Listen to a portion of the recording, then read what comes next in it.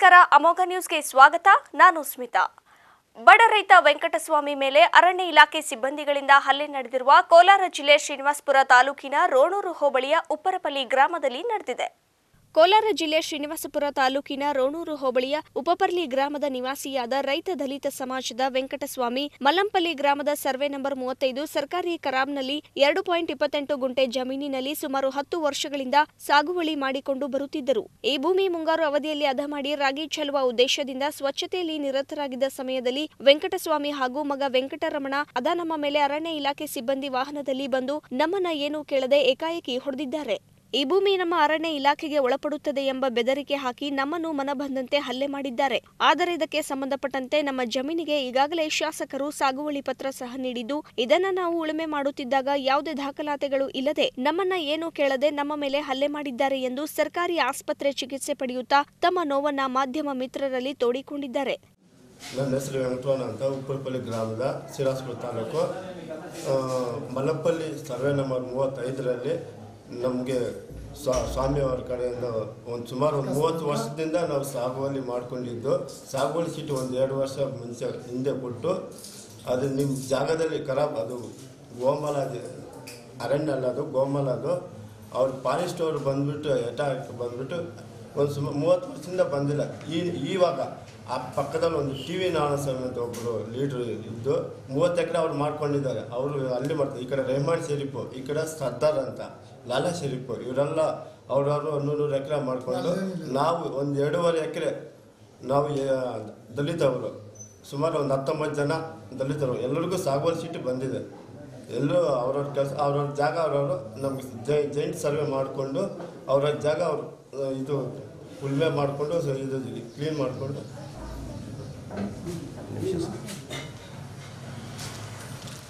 ಈ ಸಂಬಂಧ ಪಟ್ಟಣ ಅಧಿಕಾರಿಗಳು ಬಡ ರೈತನಿಗೆ ಯಾವ ರೀತಿ ನ್ಯಾಯ ಕೊಡಿಸುತ್ತಾರೆ ಎಂಬುದು ಕಾದು ನೋಡಬೇಕಿದೆ. ಹರ್ಷವರ್ಧನ್, ಅಮೋಕ್ ಟಿವಿ, ಶ್ರೀನಿವಾಸ್ಪುರ. ಸಿ. ನಂದಿಹಳ್ಳಿ ಘಟನೆಗೆ ಸಂಬಂಧಿಸಿದಂತೆ ಪ್ರತಿಭಟನೆಗೆ ಮುಂದಾಗದಂತೆ ಕಾರ್ಯಕರ್ತರಿಗೆ ಮನವಿ ಮಾಡಿದ ಶಾಸಕ ಎಸ್ಆರ್ ಶ್ರೀನಿವಾಸ್ ಅವರು ಸಂಸದರ ವಿರುದ್ಧ ವಾಕ್ ಸಮರಕ್ಕೆ ತಾರ್ಕಿಕ ಅಂತ್ಯ ಹಾಡಿದರು.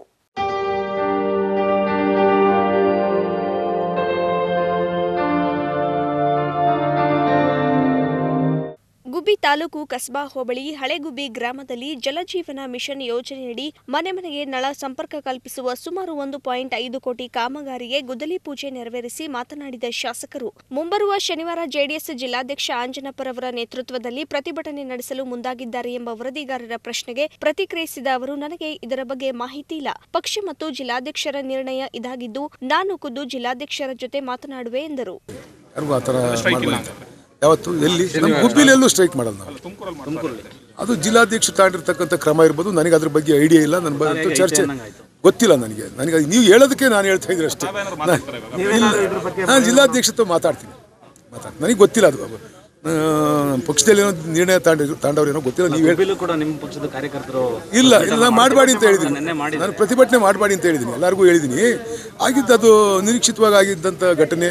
ಅದು ಲೋಕಸಭಾ ಸದಸ್ಯರು ಅವರು ಯಾವ ದೃಷ್ಟಿ ಇಟ್ಕೊಂಡು ಆ ಥರ ಕೆಟ್ಟದಾಗ ಬಿಹೇವ್ ಮಾಡ್ಕೊಂಡು ಕೆಟ್ಟದಾಗ ಮಾತಾಡಿರೋ ಗೊತ್ತಿಲ್ಲ. ಅವ್ರು ಮಾತಾಡಿದ ಮೇಲೆ ನಾನು ಮಾತಾಡಿರೋದು. ಅದು ಮುಗಿದ ಕತೆ ಅದು. ಅವ್ರಿಗೂ ಅವ್ರಿಗೂ ವಿಷಾದ ಆಗಿರ್ಬೋದು. ನಾನು ಅನ್ಕೊಂತೀನಿ. ಆಗಿದೆಯೋ ಇಲ್ಲೋ ಗೊತ್ತಿಲ್ಲ ನನಗೆ. ಆಗಿರ್ಬೋದು. ಫಸ್ಟ್ ಅವರು ನಿಮ್ಮ ಮೀಡಿಯಾ ನಿಮ್ಮ ವಿಡಿಯೋ ಕ್ಲಿಪ್ ನೋಡಿದರೆ ಎಂಥ ಸಣ್ಣ ಹುಡುಗಿಗೂ ಗೊತ್ತಾಗುತ್ತೆ. ಯಾರ್ದು ತಪ್ಪು, ಯಾರು ಸರಿ ಅನ್ನೋದು ನಿಮಗೆಲ್ಲ ಗೊತ್ತಾಗುತ್ತೆ.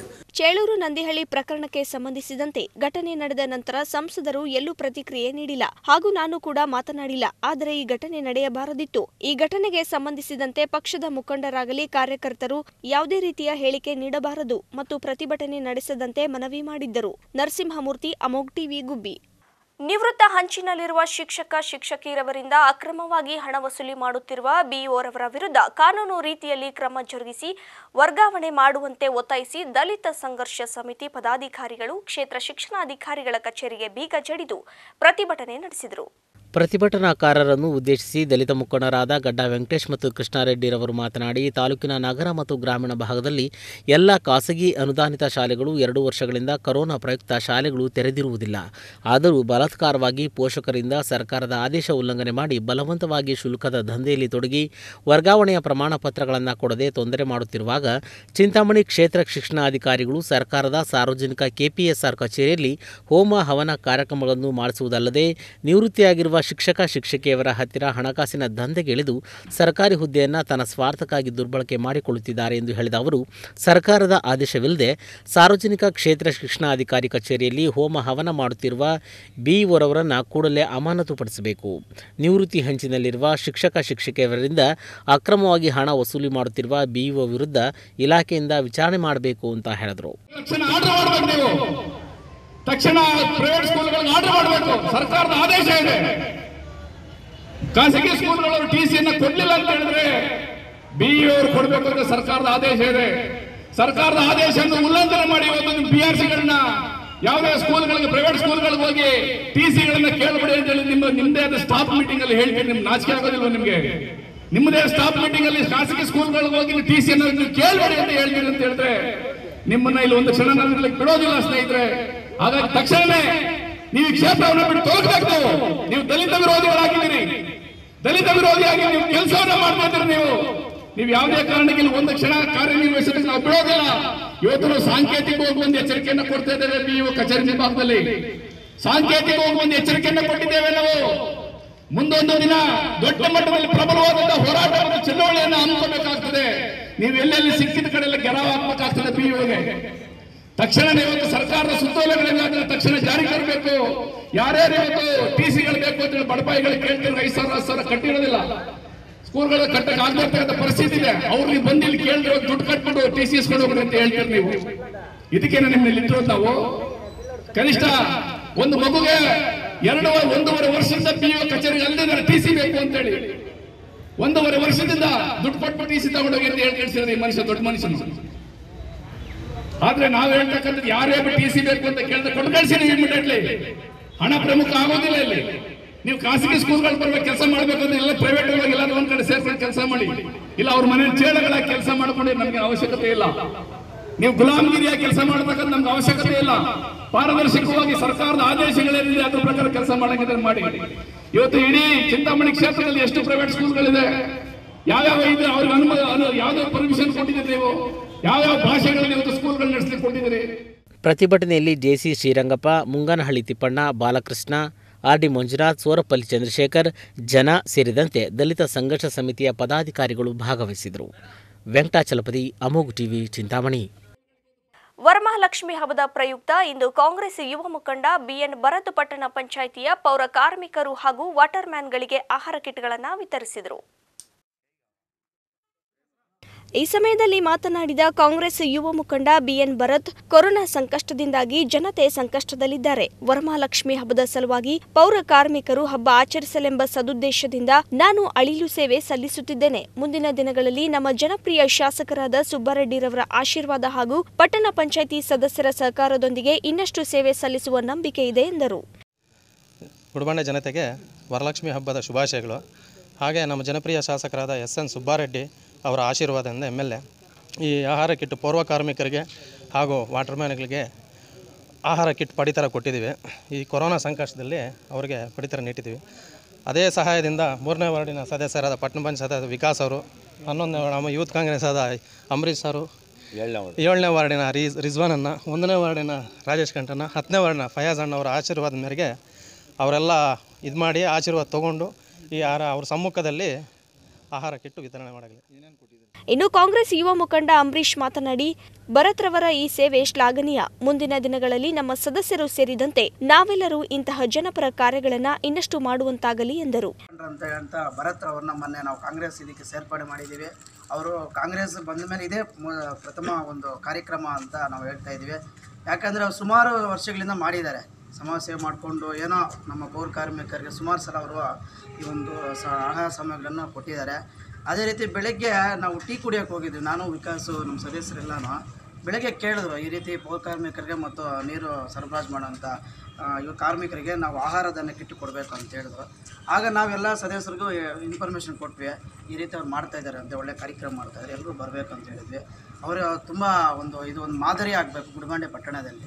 ಎಲ್ಲ ನಾಯಕರು ನಮ್ಮ ಪಕ್ಷ ಭೇದ ಯಾವುದೂ ಇಲ್ಲ. ಎಲ್ಲರೂ ಮುಂದೆ ಬಂದು, ಯಾಕಂದರೆ ಇವತ್ತು ಸ್ವಚ್ಛವಾಗಿ ಗುಡಿಬಂಡೆ ಇರಬೇಕಾದ್ರೆ ಪೌರ ಪೌರ ಕಾರ್ಮಿಕರು ಮತ್ತು ನೀರು, ಎಲ್ಲರಿಗೂ ನೀರು ಬೇಕೇ ಬೇಕು. ಅದೇ ರೀತಿ ನಮ್ಮ ವಾಟರ್ ಮ್ಯಾನ್ಗಳಷ್ಟೇ ಅವ್ರಿಗೆ ಪಾಪ ನಿದ್ದೆ ಅನ್ನೋದು ಇರಲ್ಲ. ನಾವು ಸುಮಾರು ನಾಲ್ಕು ತಿಂಗಳು ನಾವೆಲ್ಲ ನೋಡಿದ್ದೀವಿ ಆಧಾರ ಪಾಪ ಕರೆಂಟ್ ಹೋದರೆ ಬಂದು ಪೈಪ್ ಹೋದರೆ ಎಲ್ಲ ರೆಡಿ ಮಾಡ್ತಾರೆ. ಪೌರ ಕಾರ್ಮಿಕರು ಸ್ವಚ್ಛತೆಯಿಂದ ಕಾಪಾಡ್ತಾ ಇದ್ದಾರೆ ಅದಕ್ಕೆ ಅವ್ರಿಗೇನೋ ಒಂದು ಮಾಡಬೇಕಂತ ಹೇಳ್ಬಿಟ್ಟು ನಮ್ಮ ಯುವ ಮುಖಂಡರಂತ ಭರತ್ರವರು ಈ ಒಂದು ಒಳ್ಳೆಯ ನಿರ್ಧಾರ ಮಾಡಿದ್ದಾರೆ. ಇದೇ ರೀತಿ ಎಲ್ಲ ನಾಯಕರು ಸಹ ಅವರಿಗೆ ಮುಂದೆ ಎಲ್ಲ ಪೌರ ಕಾರ್ಮಿಕರು ಮತ್ತು ನಮ್ಮ ನೀರು ಸರಬರಾಜು ಮಾಡುವಂಥ ಕಾರ್ಮಿಕರಿಗೆ ನಾವೆಲ್ಲ ಮುಂದೆ ಇದು ಇದು ಮಾಡೋಂತ ಹೇಳ್ಬಿಟ್ಟು ನಾವು ಈ ಸಂದರ್ಭದಲ್ಲಿ ಹೇಳ್ತಾ ಇದ್ದೀವಿ. ಅವರಿಗೆ ದೇವರ ಆರೋಗ್ಯ, ಐಶ್ವರ್ಯನ ಕೊಟ್ಟು ಮುಂದೆ ಇದೇ ರೀತಿ ಎಲ್ರಿಗೂ ಸಹ ನೀಡಬೇಕೆಂದು ಅವರಲ್ಲಿ ಮನವಿ ಮಾಡ್ತಾ ಇದ್ದೀವಿ. ಇನ್ನು ಈ ಸಮಯದಲ್ಲಿ ಪಟ್ಟಣ ಪಂಚಾಯಿತಿ ಸದಸ್ಯರಾದ ವಿಕಾಸ್, ರಾಜೇಶ್, ಮುಖಂಡರಾದ ರಿಜ್ವಾನ್, ಫಯಾಜ್ ಸೇರಿದಂತೆ ಅನೇಕರು ಇದ್ದರು. ವಿರಾಜಶೇಖರ್ ಅಮೋಗ್ ಟಿವಿ, ಗುಡಿಬಂಡೆ. ತಾಲೂಕಿನ ಹಾರೋಬಂಡೆ ಪಂಚಾಯಿತಿ ವ್ಯಾಪ್ತಿಯಲ್ಲಿ ಹಲವು ಗ್ರಾಮಗಳಲ್ಲಿ ಕೊರೋನಾದಿಂದ ಆರ್ಥಿಕ ಪರಿಸ್ಥಿತಿಯನ್ನು ಎದುರಿಸುತ್ತಿರುವ ಬಡವರಿಗೆ, ನಿರ್ಗತಿಕರಿಗೆ ಇಂದು ಎರಡು ಸಾವಿರ ದಿನಸಿ ಆಹಾರ ಕಿಟ್ಗಳನ್ನು ಕೆಎನ್ ರಘು ಜನಸೇವಾ ಟ್ರಸ್ಟ್ ವತಿಯಿಂದ ವಿತರಿಸಲಾಯಿತು. ಹಾರೋಬಂಡೆ ಗ್ರಾಮ ಪಂಚಾಯತಿ ವ್ಯಾಪ್ತಿಯ ಹನ್ನೆರಡು ಹಳ್ಳಿಗಳಲ್ಲಿ ಸಾವಿರಾರು ಕುಟುಂಬಗಳು ಕೊರೋನಾ ಎರಡನೇ ಅಲೆಯಲ್ಲಿ ಹಸಿವಿನಿಂದ ಬಳಲುತ್ತಿದ್ದರು ಹಾಗೆ ಇನ್ನೇನು ಮೂರನೇ ಅಲೆ ಬರುವ ಮುನ್ನವೇ ಮುನ್ನೆಚ್ಚರಿಕೆ ಕ್ರಮವಾಗಿ ಹಸಿದವರಿಗೆ ಸಹಾಯ ಮಾಡಲೆಂದು ಹನ್ನೆರಡು ಗ್ರಾಮಗಳಲ್ಲಿ ಸಾವಿರಾರು ಕುಟುಂಬಗಳಿಗೆ ಕೆಎನ್ ರಘು ಜನಸೇವಾ ಟ್ರಸ್ಟ್ ವತಿಯಿಂದ ಎರಡು ಸಾವಿರ ಕಿಟ್ಗಳನ್ನು ವಿತರಣೆ ಮಾಡಿದರು.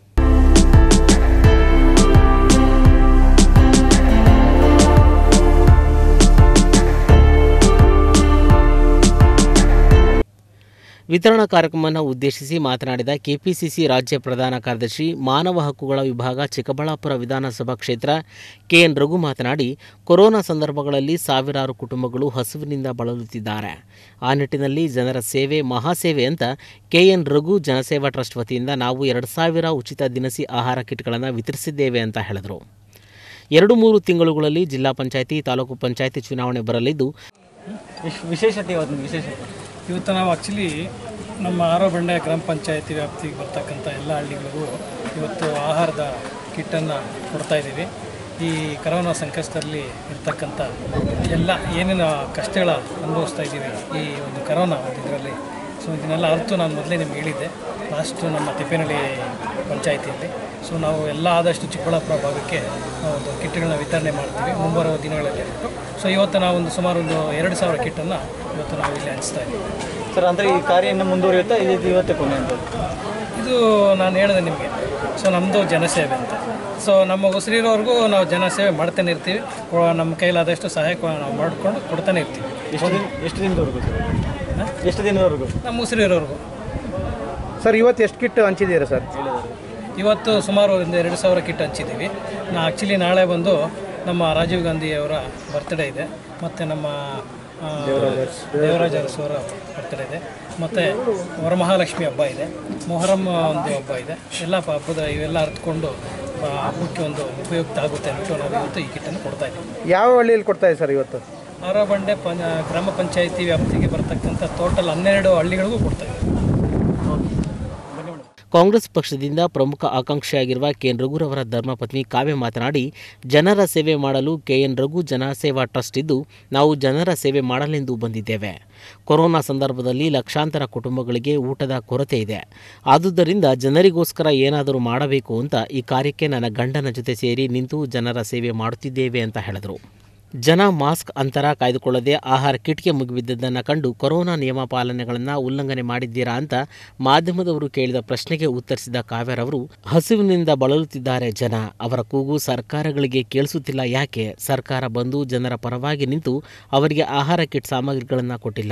ಒಳ್ಳೆಯ ಕಾರ್ಯ ಮಾಡುತ್ತಿದ್ದೇವೆ. ಹಸಿದವರ ಹೊಟ್ಟೆ ತುಂಬಿಸಲು ಮುಂದಾಗಿದ್ದೇವೆ. ಜನರ ಸೇವೆ ಮಾಡಲೆಂದು ಬಂದರೆ ಅದರಲ್ಲಿ ಲೋಪ ಹುಡುಕಬಾರದು. ಜನ ಹಸಿವಿನಿಂದ ಬಳಲುತ್ತಿದ್ದಾರೆ ಅಂತ ಸರ್ಕಾರದ ವಿರುದ್ಧ ಕಿಡಿಕಾರದರು. ಸರ್ ನಾವು ಮಾಸ್ಕ್ ಕಾರ್ಯಕ್ರಮ. ಸರ್ ನಮ್ಮದೇ ಕಾರ್ಯಕ್ರಮ ಹೌದು ನಾವು ಹೇಳ್ತಾನೆ ಇದ್ದೀವಿ ಮಾಸ್ಕ್ ಕಡ್ಡಾಯವಾಗಿ ಹಾಕೊಳ್ಳಿ ಅಂದ್ಬಿಟ್ಟು ಸೋಷಿಯಲ್ ಡಿಸ್ಟೆನ್ಸ್ ಮೇಂಟೈನ್ ಮಾಡಿ ಅಂದ್ಬಿಟ್ಟು ಬಟ್ ಇದು ಎಲ್ಲಿಂದ ಸೊ ಆ ಪ್ರಾಬ್ಲಮ್ ಸ್ಟಾರ್ಟ್ ಆಯಿತು? ಬಿಕಾಸ್ ಆಫ್ ಗೌರ್ಮೆಂಟ್ ಅವ್ರು ಮಾಡಿರೋ ಒಂದು ನೆಗ್ಲಿಜೆನ್ಸಿಯಿಂದ ಅವ್ರು ಮಾಡಿರೋ ಒಂದು ರೇಟ್ ಜಾಸ್ತಿಯಿಂದ ಜನಗಳು ಈ ಥರ ಬರ್ತಾ ಇದ್ದಾರೆ ಅವತ್ತು ಪ್ರತಿದಿನ ರೇಟ್ ಜಾಸ್ತಿ ನೋಡ್ತಾ ಇದ್ದೀವಿ ನಾವು. ನಿನ್ನೆ ಕೂಡ ನೋಡ್ತಾ ಇದ್ದೀವಿ ಸಿಲಿಂಡರ್ ಮೇಲೆ ಇಪ್ಪತ್ತೈದು ರೂಪಾಯಿ ಜಾಸ್ತಿ ಮಾಡಿದ್ದಾರೆ. ಆಬ್ವಿಯಸ್ಲಿ ಇಪ್ಪತ್ತೈದು ರೂಪಾಯಿ ನಮಗೆ ಕಮ್ಮಿ ಅನ್ಸಿದ್ರು, ಅದು ಅದು ನಂಬರ್ ಆಫ್ ಥಿಂಗ್ ಕಮ್ಮಿ ಅನ್ಸಿದ್ರು ಬಟ್ ಕೊಡೋದು ಇಟ್ಸ್ ಲೈಕ್ ಜನಗಳಿಗೆ ಆಬ್ವಿಯಸ್ಲಿ ಕಷ್ಟ ಅನ್ಸುತ್ತೆ. ಬಿಕಾಸ್ ತಿಂಗಳೆಲ್ಲ ದುಡ್ಡು ಒಂದು ಸರಿ ರೇಷನ್ ತರೋದಕ್ಕೆ ಅಥವಾ ಒಂದು ಸರಿ ಮನೆ ಮೇಂಟೈನ್ ಮಾಡೋದಕ್ಕೆ it's not easy like government ಆದವ್ರು ಅವ್ರು ಒಂದು ಸೆಮಿನಾರ್ ನಡೆಸಬೇಕು ಲೈಕ್ ಮಿಡಲ್ ಕ್ಲಾಸ್ ಪೀಪಲ್ ಹೆಂಗೆ ಲೈಫ್ ಸರ್ವೈವ್ ಮಾಡ್ತಾರೆ? ಬಡವರು ಹೆಂಗೆ ಲೈಫ್ ಸರ್ವೈವ್ ಮಾಡ್ತಾರೆ ಅಂದ್ಬಿಟ್ಟು. ಫಸ್ಟ್ ಅದನ್ನು ಫಸ್ಟ್ ಮಾಡಲಿ ಗೌರ್ಮೆಂಟ್ ಅವರು. ನಾವು ಮಾಡೋದು ನಾವು ಮಾಡ್ತಾನೆ ಇದ್ದೀವಿ. ನಾವು ಹೇಳ್ತಾನೆ ಇದ್ದೀವಿ ಸೋಷಿಯಲ್ ಡಿಸ್ಟೆನ್ಸ್ ಮಾಡಿ ಮಾಸ್ಕ್ ಹಾಕೊಳ್ಳಿ ಅಂದ್ಬಿಟ್ಟು but we need to understand their problems ಅಲ್ವಾ? ಸುಮ್ಮನೆ ಬರೋದಿಲ್ಲ ರೇಷನ್ ಕಿಟ್ ತೊಗೊಂಡು ಹೋಗೋದಕ್ಕೆ. ಅವ್ರ ನೀಡ್ ಇರುತ್ತೆ ಅದು. ಅಷ್ಟು ಅವ್ರಿಗೆ ಹಂಬಲ ಇರುತ್ತೆ. ನಮಗೆ ಸಿಗಬೇಕು, ನಮಗೆ ಬೇಕು ಅಂತ. ಸೊ ಹಂಗಾಗಿ ಒಂಚೂರು ಇದಾಗ್ಬೋದು ಅಷ್ಟೇ ಹೊರತು. ಪ್ರತಿಯೊಬ್ಬ ಮನುಷ್ಯಂಗೂ ಅವ್ರದ್ದೇ ಆದ ಸೇಫ್ಟಿ ಮೆಷರ್ಸು ಅವ್ರದೇ ಆದ ತಿಳುವಳಿಕೆ ಇದ್ದೇ ಇರುತ್ತೆ. ಎಲ್ಲರೂ ಫಾಲೋ ಮಾಡೇ ಮಾಡ್ತಾರೆ. ಈಗ next Z P T P ಆಕಾಂಕ್ಷಿ ಆಗಿದ್ದಾರೆ. ಇದ್ರಿಗೆ ಯಾವ ಥರ ಎಕ್ಸ್ಪೆಕ್ಟ್ ಮಾಡ್ತೀವಿ ಸೊ ನಾನು ಹೇಳಿಲ್ಲ ಜೆಡ್ ಪಿ ಟಿ ಪಿ ಆಕಾಂಕ್ಷಿ ಅಂತ. ಅದಕ್ಕೆ ಕಾಂಗ್ರೆಸ್ ಸೀನಿಯರ್ ಲೀಡರ್ಸ್ ಇದ್ದಾರೆ. ಅವ್ರು ಡಿಸೈಡ್ ಮಾಡ್ತಾರೆ. ಬಟ್ ನಮ್ಮ ಬೇಸಿಕಲಿ ಜನಸೇವೆ ಏನಿದೆ ಅದನ್ನ ನಾವು ಮಾಡ್ಕೊಂಡು ಹೋಗ್ತಾ ಇರ್ತೀವಿ ಅಷ್ಟು. ನಮ್ಮ ಕಾರ್ಯ ಏನಿದೆ ಅದು ನಾವು ಮಾಡ್ತೀವಿ. ಅಲ್ಲ ಇನ್ ಕೇಸ್ ಸಿಕ್ಕಿದ್ರೆ ಏನು ಮಾಡ್ತೀರಾ ಮೇಡಮ್ ಸಿಕ್ಕಿದ್ರೆ ಅದೃಷ್ಟ, ಪುಣ್ಯ, ಜನಗಳ ಸೇವೆ ಮಾಡಕ್ಕೆ ಇನ್ನೂ ಒಂದು ಫರ್ದರ್ ರೆಸ್ಪಾನ್ಸಿಬಿಲಿಟಿ ಸಿಕ್ದಂಗೆ ಆಗುತ್ತೆ. ಇನ್ನೂ ಚೆನ್ನಾಗಿ ಮಾಡ್ಕೊಂಡು ಹೋಗ್ತೀವಿ.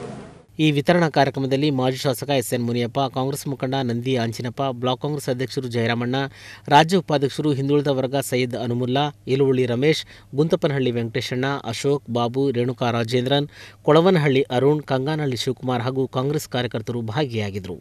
ಎನ್ ಸತೀಶ್, ಅಮೋಘ ಟಿವಿ, ಚಿಕ್ಕಬಳ್ಳಾಪುರ. ಶಿಡ್ಲಘಟ್ಟ ತಾಲೂಕಿನಲ್ಲಿ ಸುಮಾರು ವರ್ಷಗಳಿಂದ ಜೀತ ಸಮಸ್ಯೆ, ಬಾಲ ಕಾರ್ಮಿಕರ ಬಗ್ಗೆ, ಮಹಿಳಾ ಸಮಸ್ಯೆಗಳ ಬಗ್ಗೆ, ವಲಸೆ ಕಾರ್ಮಿಕರ ಬಗ್ಗೆ, ಶಿಕ್ಷಣದ ಬಗ್ಗೆ ಕೆಲಸ ಮಾಡಿಕೊಂಡು ಬರುತ್ತಿದ್ದೇವೆ. ಈ ತಾಲೂಕಿನಲ್ಲಿ ಆರುನೂರ ಮೂವತ್ತೆಂಟು ಮಂದಿ ಜೀತದಾಳುಗಳು ನಾನ್ನೂರ ಮೂವತ್ತು ಮಂದಿ ಜೀತ ವಿಮುಕ್ತರು, ನೂರ ಮೂವತ್ತೆಂಟು ಮಂದಿಗೆ ಬಿಡುಗಡೆ ಪ್ರಮಾಣಪತ್ರ ಬಂದಿರುವುದಿಲ್ಲ ಎಂದು ಜೀವಿಕ ಜಿಲ್ಲಾ ಸಂಚಾಲಕ ಮುನಿಯಪ್ಪ ತಿಳಿಸಿದರು. ನಗರದಲ್ಲಿ ಜೀವಿಕ ಸಂಘಟನೆಯ ಹೊಸ ಪದಾಧಿಕಾರಿಗಳ ಆಯ್ಕೆ ಕುರಿತಂತೆ ನಡೆಸಿದ ಸುದ್ದಿಗೋಷ್ಠಿಯಲ್ಲಿ ಅವರು ಮಾತನಾಡಿದರು. ಈ ತಾಲೂಕಿನಲ್ಲಿ ಸುಮಾರು ಮೂವತ್ತು ಹಳ್ಳಿಗಳಲ್ಲಿ ಜೀವಿಕ ಸಂಘಟನೆ ಸಕ್ರಿಯವಾಗಿದೆ. ಈಗ ಸಂಘಟನೆಯಲ್ಲಿ ರಾಜ್ಯ ಸಂಚಾಲಕರಾಗಿ ವಿ ಗೋಪಾಲ್ ಮತ್ತು ರಾಜ್ಯ ಮಹಿಳಾ ಸಂಚಾಲಕಿಯಾಗಿ ರತ್ನಮ್ಮ, ಜಿಲ್ಲಾ ಸಂಚಾಲಕರಾಗಿ ಟಿವಿ ಮುನಿಯಪ್ಪ, ತಾಲೂಕು ಮಹಿಳಾ ಸಂಚಾಲಕಿಯಾಗಿ ಬಿಎನ್ ವೀಣಾ ಸಾದಲಿ ಹೋಬಳಿ ಸಂಚಾಲಕರಾಗಿ ವಿ ನಾಗರಾಜು, ನಗರ ಸಂಚಾಲಕರಾಗಿ ಅಫ್ಸರ್ ಮತ್ತು ನರಸಿಂಹಮೂರ್ತಿ ಆಯ್ಕೆಯಾಗಿದ್ದಾರೆ. ಒಕ್ಕೂಟದ ಪದಾಧಿಕಾರಿಗಳಾಗಿ ವೆಂಕಟೇಶಪ್ಪ, ಗಂಗಪ್ಪ, ನಲ್ಲಪ್ಪನಹಳ್ಳಿ ನರಸಿಂಹಪ್ಪ ಮುನಿಕೃಷ್ಣಪ್ಪ ಇವರುಗಳನ್ನು ಆಯ್ಕೆ ಮಾಡಿಕೊಂಡು ಜೀವಿಕ ಸಂಘಟನೆಗಳನ್ನು ಜನಪರವಾಗಿ ಸಂಘಟಿಸಲು ನಿರಂತರವಾಗಿ ಇವರಿಗೆ ತರಬೇತಿಗಳನ್ನು ನೀಡಲಾಗ್ತಾ ಇದೆ. ಸಾಮಾಜಿಕವಾಗಿ, ಆರ್ಥಿಕವಾಗಿ, ರಾಜಕೀಯವಾಗಿ, ಶೈಕ್ಷಣಿಕವಾಗಿ ಮುಂದೆ ಬರಲು ಜೀತ ವಿಮುಕ್ತರ ಉದ್ಯೋಗ, ಭೂಮಿ, ಆರೋಗ್ಯ, ನೀರು ಇವು ಸಮರ್ಪಕವಾಗಿ ಸಿಗುವಂತೆ ಸಂಘಟನೆ ಬಲಗೊಳಿಸಲಾಗುವುದು ಅಂತ ತಿಳಿಸಿದರು. ಆಮೇಲೆ ಮಾಶಾಸನ ಅಂತ ಹೇಳ್ಬಿಟ್ಟು ಹನ್ನೆರಡು ಸಾವಿರ ಬಂದಿದೆ. ಪರಿಹಾರ ಅಂತ ಹೇಳ್ಬಿಟ್ಟು ಇಪ್ಪತ್ತು ಸಾವಿರ ಬರ್ತಾ ಇದೆ. ಇನ್ನೂ ಕೆಲವು ದಾಖಲಾತಿಗಳ ಸರಿಪಡಿಸುವಿಕೆ ಇರೋದ್ರಿಂದ ಇನ್ನೂ ಬರ್ತಾನೆ ಇದೆ. ಇನ್ನು ಮುಂದೆ ಎಂಬತ್ತು ಸಾವಿರ ಬರ್ತಕ್ಕಂಥ ಒಂದು ವ್ಯವಸ್ಥೆ ಇದೆ. ಅದಕ್ಕೆ ಕೇಂದ್ರ ಸರ್ಕಾರದಿಂದ ಬರ್ತಕ್ಕಂಥ, ಬರ್ತಕ್ಕಂಥದ್ದು, ಅದಕ್ಕೂ ಕೂಡ ವ್ಯವಸ್ಥಿತವಾಗಿ ದಾಖಲೆಗಳನ್ನು ನಾವು ಸರಿಪಡಿಸ್ತಾ ಕೊಡ್ತಾ ಇದ್ದೀವಿ. ಮೊನ್ನೆ ಹದಿಮೂರನೇ ತಾರೀಕು ಜಿಲ್ಲಾಧಿಕಾರಿಗಳು ಕಚೇರಿ ಮುಂದೆ ಧರಣಿ ಕಾರ್ಯಕ್ರಮ ಮಾಡಿದ್ವಿ. ಇಲ್ಲಿ ಇಡೀ ಜಿಲ್ಲೆ, ಜಿಲ್ಲೆಯಾದ್ಯಂತ ಸೇರಿ ಸುಮಾರು ಎರಡು ಸಾವಿರ ಜನಕ್ಕೂ ಹೆಚ್ಚು ಜನರು ಸೇರಿ ಅಲ್ಲಿ ಕಾರ್ಯಕ್ರಮ ಮಾಡಿದ್ವಿ. ಅಲ್ಲಿಂದ ಈಚೆ ಕಡೆ ಸ್ವಲ್ಪ ಕಾರ್ಯಕ್ರಮ ಚುರುಕು ಮುಟ್ತಾ ಇದೆ. ಎಲ್ರಿಗೂ ಕೂಡ ಅಮೌಂಟ್ ಬರ್ತಕ್ಕಂಥ ಒಂದು ವ್ಯವಸ್ಥೆಯನ್ನು ಮಾಡ್ತಾ ಇದ್ದಾರೆ. ಅದಾದ ನಂತರ ತಾಲೂಕು ಮಟ್ಟಗಳಲ್ಲೂ ಕೂಡ ಕಾರ್ಯಕ್ರಮಗಳು ಮಾಡ್ಕೊಂಡು ಬರ್ತಾ ಇದ್ವಿ. ಈ ರೀತಿಯಾಗಿ ನಾವು ಜೀವಿಕಾ ಸಂಘಟನೆಯಿಂದ ಹೊಸದಾಗಿ ಈಗ ಏನು ನಾವು ಗುಂಪು ಕಟ್ಕೊಂಡಿದ್ದೀವೋ, ಅದರಲ್ಲಿ ಜೀವಿಕ ಜೀತೋನ್ಮುಕ್ತಿ ಕರ್ನಾಟಕ ಸಂಘಟನೆ ನಮ್ಮದು. ಆ ನಿಟ್ಟಿನಲ್ಲಿ ನಾವು ರಾಜ್ಯ ಸಂಚಾಲಕರಾದಂಥ ಗೋಪಾಲ್ರವರು ರಾಜ್ಯ ಮಹಿಳಾ ಸಂಚಾಲಕಿಯಾದಂಥ ರತ್ನಮ್ಮನವರ ಅವರ ಅಧ್ಯಕ್ಷತೆಯಲ್ಲಿ, ಅವರ ಅಡಿಯಲ್ಲಿ ನಾವು ತಾಲೂಕು ಮಟ್ಟದಲ್ಲಿ, ಜಿಲ್ಲಾ ಮಟ್ಟದಲ್ಲಿ ಕೂಡ ನಾವು ಕೆಲಸ ಮಾಡ್ತಾ ಇದ್ದೀವಿ. ಜಗದೀಶ್ ಬಾಬು ಅಮೋಘ ನ್ಯೂಸ್ ಶಿಡ್ಲಘಟ್ಟ. ಗುಡಿಬಂಡೆ ಪಟ್ಟಣದ ತಾಲೂಕು ಕಚೇರಿಯ ಮುಂದೆ ಪಟ್ಟಣ ಪಂಚಾಯಿತಿರವರು ಬೀದಿ ಬದಿ ವ್ಯಾಪಾರಿಗಳಿಗೆ ನಿರ್ಮಿಸಲು ಹೊರಟಿದ್ದ ತಾತ್ಕಾಲಿಕ ಅಂಗಡಿಗಳ ಜಾಗದ ವಿಚಾರದಲ್ಲಿ ಎರಡು ಇಲಾಖೆಗಳ ನಡುವೆ ಮಾತಿನ ಚಕಮಕಿ ನಡೆದು ಕೆಲಕಾಲ ಗೊಂದಲ ವಾತಾವರಣ ಉಂಟಾಯಿತು. ಬೀದಿ ಬದಿ ವ್ಯಾಪಾರಿಗಳಿಗೆ ಬಾಗಿಲುಗಳಿಲ್ಲದ ಸಾಲು ಅಂಗಡಿಗಳನ್ನು ನಿರ್ಮಿಸಲಾಗುತ್ತಿದೆ. ಪ್ರತಿದಿನ ಈ ಅಂಗಡಿಗಳಲ್ಲಿ ವ್ಯಾಪಾರಿಗಳು ತಮ್ಮ ವ್ಯಾಪಾರದ ನಂತರ ಖಾಲಿ ಮಾಡಬೇಕಾಗುತ್ತದೆ. ವ್ಯಾಪಾರಿಗಳಿಗೆ ಅಂಗಡಿಗಳ ಮೇಲೆ ಯಾವುದೇ ನಿಯಂತ್ರಣವಿರುವುದಿಲ್ಲ. ಇನ್ನು ಈ ಕೆಲಸಕ್ಕೆ ಪಾಯ ಹಾಕುವ ಸಮಯದಲ್ಲಿ ಅಂಗಡಿಗಳನ್ನು ನಿರ್ಮಿಸಲು ಹೊರಟಿರುವ ಜಾಗ ತಮ್ಮದೆಂದು ಪಟ್ಟಣ ಪಂಚಾಯಿತಿಯ ಅಧಿಕಾರಿಗಳು ಹಾಗೂ ಸಿಬ್ಬಂದಿಗಳು ಹಾಗೂ ತಮ್ಮದೆಂದು ತಾಲೂಕು ಪಂಚಾಯಿತಿಯ ಅಧಿಕಾರಿಗಳು ಹಾಗೂ ಸಿಬ್ಬಂದಿಗಳ ಮಾತಿನ ಚಕಮಕಿ ನಡೆಸಿದರು. ಇನ್ನು ಈ ಸಮಯದಲ್ಲಿ ಪಂಚಾಯಿತಿಯ ಸದಸ್ಯರು ಹಾಗೂ ಹಲವು ನಾಗರಿಕರು ಎರಡು ಭಾಗವಾಗಿ ಬೆಂಬಲಕ್ಕೆ ನಿಂತ ಕಾರಣ ವಾದ ವಿವಾದ ಇನ್ನಷ್ಟು ಹೆಚ್ಚಾಯಿತು. ಜಾಗ ತಾಲೂಕು ಪಂಚಾಯಿತಿಯದೆಂದು ಹಿರಿಯ ಪತ್ರಕರ್ತ ವೆಂಕಟರಾಯಪ್ಪ ಹಾಗೂ ಕೆಲವರು, ಪಟ್ಟಣ ಪಂಚಾಯಿತಿದೆಂದು ಪಟ್ಟಣ ಪಂಚಾಯಿತಿ ಸದಸ್ಯರು ಹಾಗೂ ಕೆಲವರು ವಾಗ್ವಾದ ನಡೆಸಿದರು. ದಾಖಲೆ ನಮ್ಮ ಪರವಾಗಿದೆ ಎಂದು ಎರಡು ಇಲಾಖೆಯವರು ವಾದ ಮಾಡುತ್ತಿದ್ದಾಗ, ಕಂದಾಯ ಇಲಾಖೆಯ ಒಬ್ಬರು ಈ ಜಾಗ ಇಬ್ಬರದು ಅಲ್ಲ, ಕಂದಾಯ ಇಲಾಖೆಗೆ ಸೇರಿದೆ ಎಂಬ ಆಶ್ಚರ್ಯಕರ ಹೇಳಿಕೆ ನೀಡಿದ್ದರು. ಇದಾದ ನಂತರವೂ ಗುತ್ತಿಗೆದಾರರ ಕೆಲಸ ಮಾಡಿಸುತ್ತಲೇ ಇದ್ದ ಕಾರಣ, ಕೋಪಗೊಂಡ ತಾಲೂಕು ಪಂಚಾಯಿತಿ ಅಧಿಕಾರಿಗಳು ಅಗೆದಿರುವ ಪಾಯ ಮುಚ್ಚಿಸಲು ಜೆಸಿಬಿ ಕರೆಸಿದರು. ವಾಪಸ್ ಆ ತಿರ್ಗಾ ಕೆಲಸ ಕುಂಠಿತ ಆಗುತ್ತೆ ಅನ್ನೋ ಅನ್ನೋ ಉದ್ದೇಶದಿಂದ ನಾವು ಆದಷ್ಟು ಬೇಗ ಅವ್ರಿಗೆ ಬೀದಿ ಬದಿ ವ್ಯಾಪಾರಿಗಳಿಗೆ ಅನುಕೂಲ ಆಗಲಿ ಅನ್ನೋ ಉದ್ದೇಶದಿಂದ ನಾವು ಕಾಮಗಾರಿನ ಕೈಗೊಂಡಿದ್ದೀವಿ. ಹಂಗೇನಾದರೆ ಟಿ ಪಿ ಎಸ್ ಅವ್ರದ್ದು ಏನಿದೆ ದಾಖಲೆಗಳನ್ನ ತಗೊಂಬಂದ್ರೆ ನಮ್ಮ ದಾಖಲೆನೂ ಇದೆ. ಅವ್ರ ದಾಖಲೆನೂ ಪರಿಶೀಲನೆ ಮಾಡಿ, ಬೇಕಾದ್ರೆ ಮೆಜರ್ಮೆಂಟ್ ಮಾಡೋಣ. ಮೆಜರ್ಮೆಂಟ್ ಮಾಡಿ ಯಾರ ಜಾಗನೂ ನಾವು ತೊಗೊಳೋದಕ್ಕೆ ನಮ್ಗೆ ಇಷ್ಟ ಇಲ್ಲ. ಯಾರ ಜಾಗ ನಮ್ಗೆ ಬೇಕಾಗಿಲ್ಲ. ಆ, ಆದ್ರಿಂದ ಅವ್ರಿಗೆ ಅನುಕೂಲ ಆಗಲಿ ಅನ್ನೋ ಉದ್ದೇಶದಿಂದ ನಾವು ಮಾಡ್ತಾ ಇದ್ದೀವಿ. ಅದಕ್ಕೆ ಸಾರ್ವಜನಿಕರು ಮತ್ತೆ ಎಲ್ಲರೂ ಕೂಡ ಸಹಕಾರ ನೀಡಬೇಕು ಅಂತೇಳಿ ತಮ್ಮ ಮಾಧ್ಯಮದ ಮೂಲಕ ನಾನು ಮನವಿ ಮಾಡ್ಕೊಳ್ತೇನೆ. ನಲ್ಮ್ ಅಂತೇಳಿ ಒಂದು ಸ್ಕೀಮ್ ಇದೆ. ಆ ಸ್ಕೀಮ್ನಲ್ಲಿ ಅನುದಾನ ರಿಲೀಸ್ ಆಗಿರ್ತಕ್ಕಂಥದ್ದು.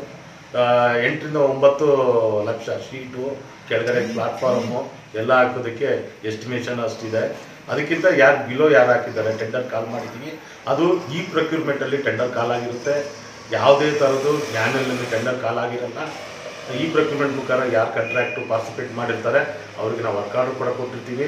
ಆ ವರ್ಕ್ ಆರ್ಡರ್ ಜೊತೆಗೆ, ಆ ನಕ್ಷೆನೂ ಕೂಡ ಅವ್ರಿಗೆ ಸಬ್ಮಿಟ್ ಮಾಡಿದ್ದೀವಿ ಆ ನಕ್ಷೆ ಪ್ರಕಾರ ಎಷ್ಟು ಮೆಜರ್ಮೆಂಟ್ ಏನಿದೆ, ಆ ಮೆಜರ್ಮೆಂಟ್ ಪ್ರಕಾರ ಕಾನೂನು ಚೌಕಟ್ಟಲ್ಲಿ ನಾವು ಬೀದಿ ಬದಿ ವ್ಯಾಪಾರಿಗಳಿಗೆ ಕುತ್ಕೊಳ್ಳೋದಕ್ಕೆ ಶೀಟಿನ ವ್ಯವಸ್ಥೆ ನಂತರ ಕಾಮಗಾರಿಯನ್ನ ನಿಲ್ಲಿಸಲಾಯಿತು. ವಿ ರಾಜಶೇಖರ್ ಅಮೋಕ್ ಟಿವಿ, ಗುಡಿಬಂಡೆ. ಇದಿಷ್ಟು ಪ್ರಮುಖ ಸುದ್ದಿಗಳು ನೋಡ್ತಾ ಇರಿ. ಅಮೋಗ್ ಟಿವಿ ಎಂದೆಂದಿಗೂ ನಿಮ್ಮೊಂದಿಗೆ.